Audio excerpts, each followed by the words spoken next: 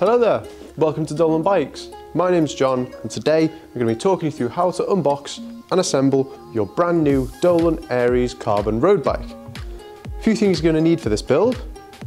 A 5mm Allen key, 6mm Allen key, a pair of scissors and just a standard torque wrench. Step one is pretty self-explanatory. We're just going to use the scissors to cut open the box.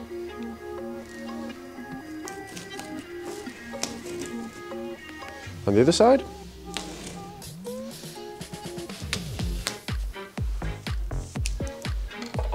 Now that should just lift up there. Be mindful of the staples. They can be quite sharp, so don't cut yourself on them.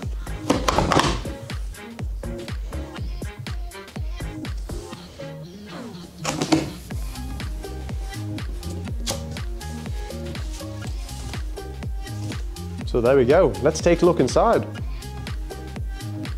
So now, now that your box is all opened up, you're going to notice a few things straight away. First things first, this particular Ares model is built with the Alpina one-piece carbon bar and stem model with full internal cabling, so that, that shouldn't be adjusted to fit in the box. You saved yourself a job there.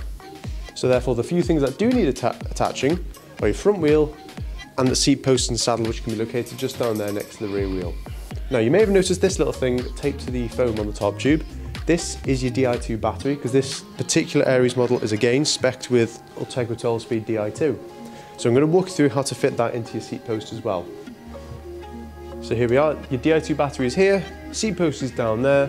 First thing you're going to do is grab your seat post and pull it out from the bottom of the box. Just for this you may need to lift the back wheel up slightly just so you have easier access to the seat post. There we go. And one thing you're going to notice as well um, is that the seat post clamp is attached and taped there to the post. Leave that there for now, we're not going to need it just yet. Pop the seat post to one side.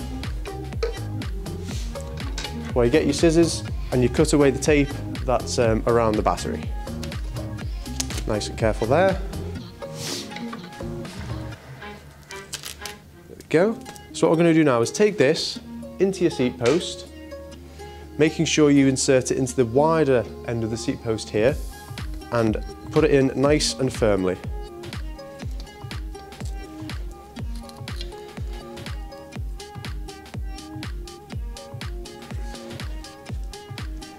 It can be quite a tough job, but once it's in there, it should be there very securely. So there you go, there's your Di2 battery inserted into your seat post. Now that your battery is firmly lodged in your seat post, what you're going to do is take the tape off from around the clamp.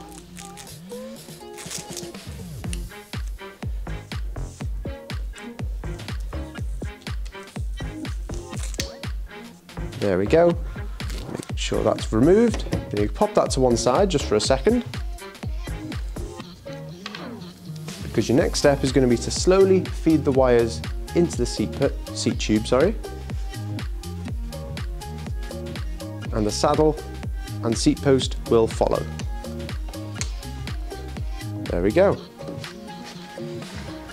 Just to, just to a random height for now, because you're going to get your seat clamp,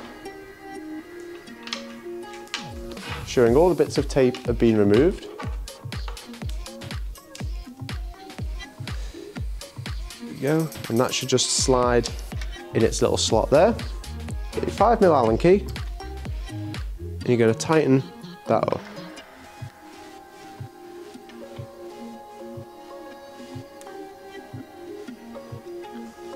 Now to ensure that's secure, what we're going to do is get our torque wrench, the 5mm Allen socket, and ensure that's tightened to 12 newton meters maximum.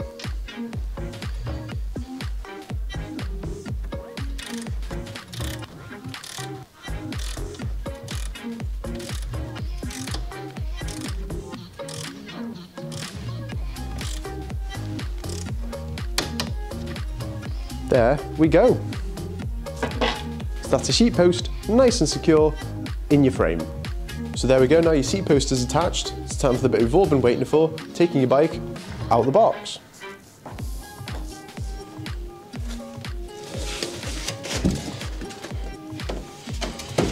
There we go. So now that your bike is out of the box, what you're going to do is cut away all the bits of tape. First things first, however, for those of you who don't have a bike stand, what we suggest doing is taking this bit of foam that the forks are resting in inside the box, just popping it on the floor, putting the forks back in there, and then leaning your bike against a secure surface, something like a wall or something like that. That way your bike's not going to get damaged or scratched. So your next step is going to be to take your scissors again and cut away all the bits of tape and foam around the bike.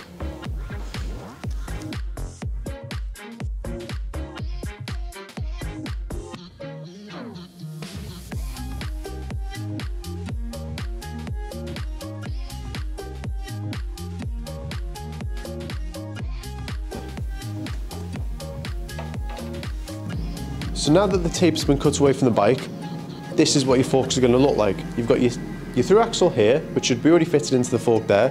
You're going to need your 6mm Allen key to remove that and to put it back in again. But what you're also going to notice is a little red spacer between the disc brake calipers. What this is put in there for is so that the brake calipers don't squeeze together by accident whilst in transit, for example. What you're going to do to remove it is nice and easy, just unclip it like that, put it in your pocket or to one side for now, but now that that's been removed from the brake caliper, it's very important you don't squeeze the front brake lever up until the front wheel has been fitted. Now you're going to take your Allen key and take your axle out. Just unscrew that there. Nice and simple. That should just slide out once it's loose enough. So there you go. Now your forks are ready for your front wheel. So what you're going to do next is grab your front wheel out your, out your box, and what we suggest doing now that the box is empty is not discarding it just quite yet, just holding on to it for the time being. So what you're going to do is get your front wheel and your axle, slide the wheel in between, in between the forks, ensuring the rotor's on the correct side. There we go. Pop the axle in there, get your 6mm Allen key, start tightening it up. There you are. What you're going to do next is get your torque wrench with a 6 mm Allen socket on it and tighten that up to 12 newton meters.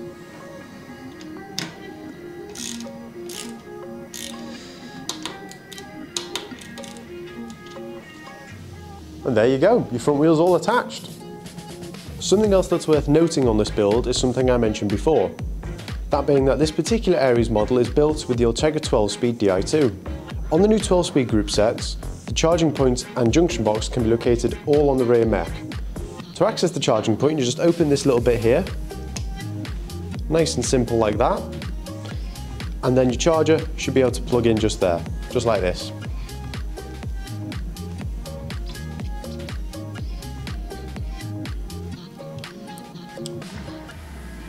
There we go. A solid blue light should show when it's charging. When it's fully charged, it should be a steady green. When you get your new Di2 bike, it should be fully charged for you, ready to go. The charger just plugs into any standard uh, plug adapter into the wall like it would with a phone charger. We do not suggest plugging it into a laptop or PC, that will not charge your battery. We only recommend plugging it into a proper or designated wall socket. So, Dolan Ares road bike is nearly ready to ride.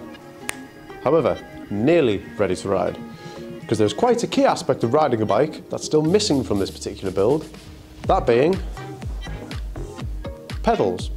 Today I'm going to be fitting a nice shiny new set of pedals to our Dolan road bike.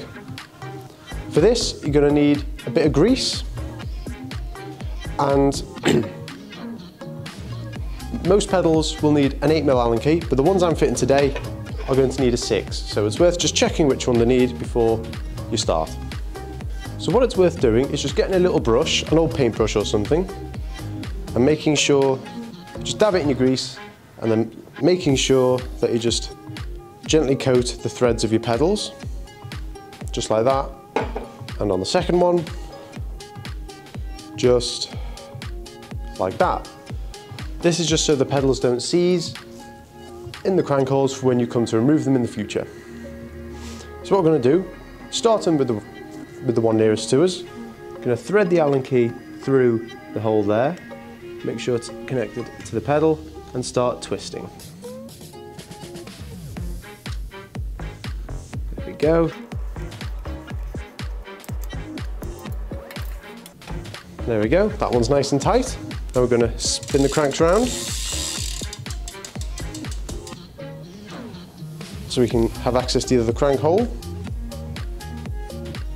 Very important not to cross thread the pedals as well because they do tighten in different directions.